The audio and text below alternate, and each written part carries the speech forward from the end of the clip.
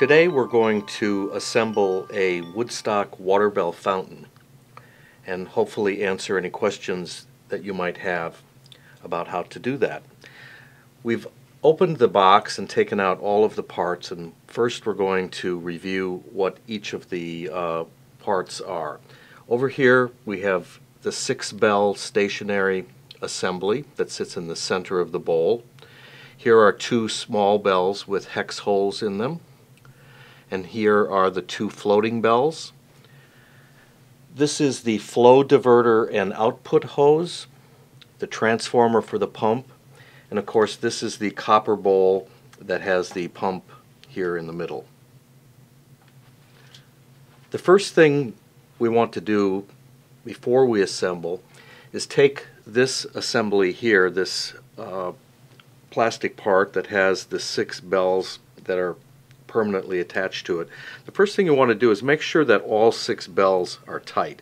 Sometimes in shipping they'll loosen and all you need to do is screw each one clockwise and make sure that they're that they're tightly affixed to this plate.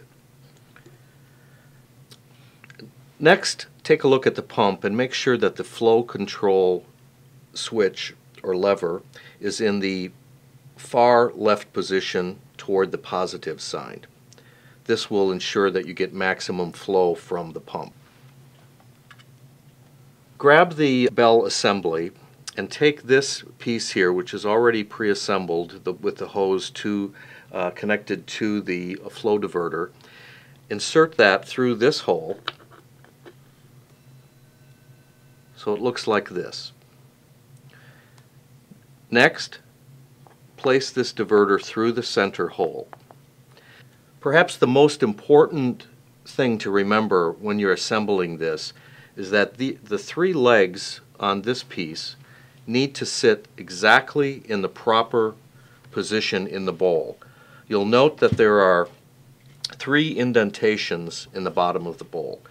There's only one position that this will fit properly where each foot each one of these brass feet is in one of the indentations. So determine which position works for you with your bowl. And once you've found that, you take this piece and push the flow diverter into the top of the pump. Now sometimes this is a little difficult to do because it's a very snug fit. But once you get it, it should be pretty tight now the pump is attached to the flow diverter. Place this assembly into the bowl. Be sure the legs are all in one of the indentations in the bottom of the bowl and then push down and the suction cups on the bottom of the pump will keep it in position. Once that's done, make sure that this piece here is pointing toward the front of the fountain. This is where water will be flowing and, and causing your floating bells to turn and float around the perimeter of the bowl. Now take these two bells that have the hex holes in them, take the larger bell, put that on first, push that down, and then place the smaller bell on the top. We've now put water into the copper bowl. In order for the fountain to function properly, the water level is very important. The stationary bell and the floating bell should be at about the same level. The top rim of the bell should be similar. So place both bells into the fountain. You'll want to be sure that the fountain is on a level surface. If it's very level, the bells will not catch up with each other and will randomly strike the bells.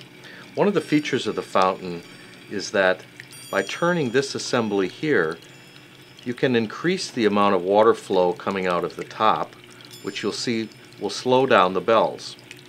You'll get more water sound, more water flowing up through the top and less through the diverter in the bowl.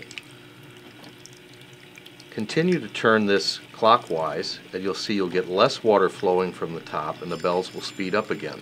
So now we have less water flowing here and more water flowing in the bowl causing the bells to go faster. One reminder is that the fountain is for indoor use. You should not plug the transformer into an outdoor outlet. Often we hear from people that they place a votive candle, candle into one of the bells. It's also very pretty to put flower petals in there. Do avoid putting stones or anything into the bowl itself as that will restrict the water flow and cause the bells not to float around the bowl.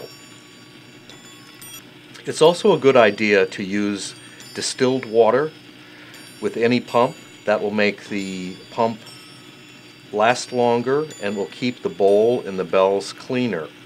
If you do start getting uh, a verdigris or buildup on the bowl or the bells, both can be cleaned with a brass or metal cleaner.